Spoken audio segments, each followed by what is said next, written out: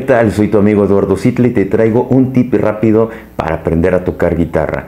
Practica ejercicios de digitación. Estos te van a permitir coordinación y agilidad y sobre todo velocidad y precisión a la hora de tocar la guitarra. Para que aprendas a tocar tus canciones favoritas, dedica unos minutos diarios a practicar patrones de digitación. De esta manera, pues irás este, progresando en tu formación y sobre todo dominando la guitarra. Así es que practica diario.